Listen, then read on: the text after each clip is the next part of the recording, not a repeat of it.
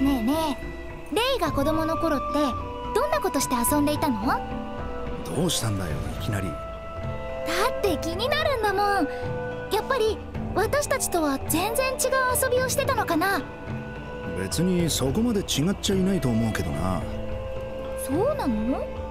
星の世界の何かすごい力を駆使したとんでもなく高次元な遊びとかじゃなくて？どんな遊びだよ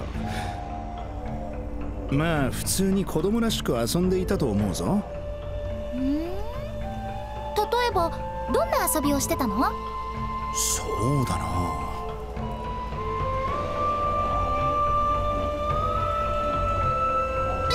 昆虫採集とかしていたっけな。あ私もやってた。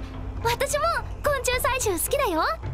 いいよな昆虫って特にあの黒光りするフォルムがかっこいいんだよな。だよね。そうだ。この近くにも珍しい昆虫がたくさんいるんだよ。今度一緒に取りに行こうよ。おいいな。それじゃあ久しぶりにやってみるか